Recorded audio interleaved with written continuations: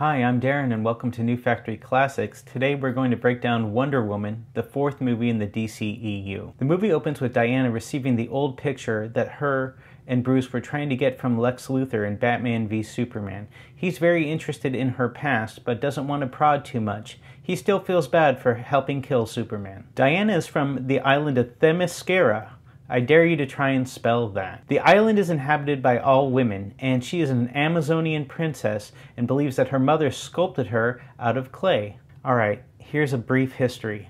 Uh, Zeus made the gods, Zeus made men, Ares made the men evil, the Amazons helped the men, the Amazons attempted to kill Ares, Ares tries to kill everyone, uh, Zeus ends up hiding the Amazon from the world and men, and Ares is injured but feared to come back one day in the future.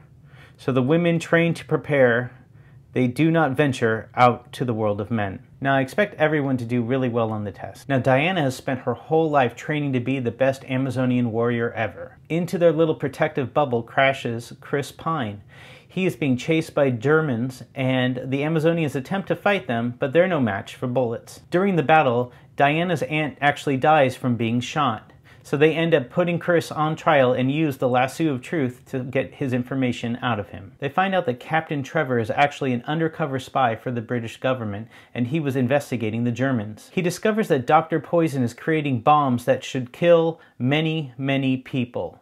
He ends up blowing up the factory and it's the worst thing to happen to Europe in several years since this guy went for a drive. Diana desperately wants to go with Captain Trevor to the mainland and help protect the humans.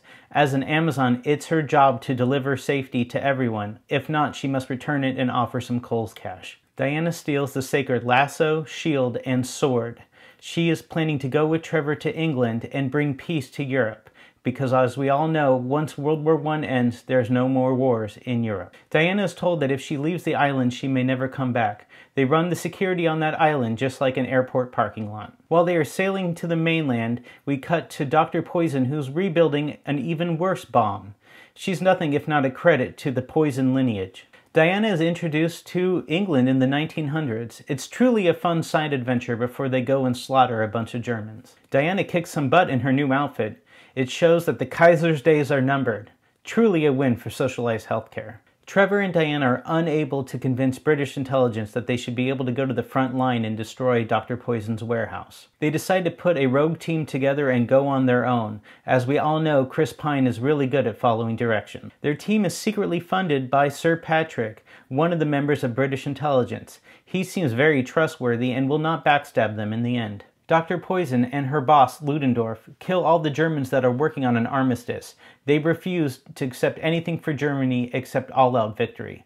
Of course, this will be the last time Germans go for world domination. While visiting the front lines, Diana learns that war is so not cool, and frankly, the front moves too slowly. She decides to charge a German machine gun, and in the end, all is not quiet on the Western Front. Diana and Trevor attempt to save a town full of enslaved women and children. Of course, they destroy the town in the process. After their victory, Diana and Trevor have a first dance in the snow. You can see them starting to fall in love with each other. You can see that they may be able to have a life together.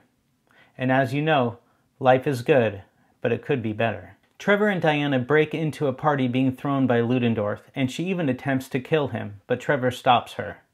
Unfortunately, when Ludendorff leaves, he ends up destroying a town nearby, and they end up having a falling out. Infuriated about the destroyed town, Diana goes on an all-out attack on Ludendorff's base. She ends up fighting him, but it's a very lackluster experience once she kills him. She thought killing Ares, god of war, would have been much more exciting. But she sees that the German soldiers don't stop packing poison onto their planes, and maybe either he wasn't Ares, or even worse, humans are horrible. She lost all hope in humanity in the four days that she was with us, which honestly sounds about right. Surprise, surprise, out of the shadows reveals Sir Patrick himself, who turns out to be the real Ares, god of war, and not the person who you thought he was. He also reveals that Diana is not a clay golem, She's actually the baby of Zeus and her mother.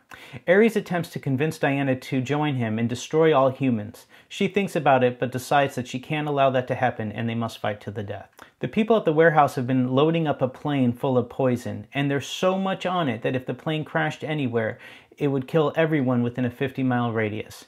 Trevor decides that he must commandeer the plane and blow it up with himself inside of it. Before he leaves, Trevor grabs Diana and lets her know that he loves her, but he must go. He must save the world, but she must continue to save the world here.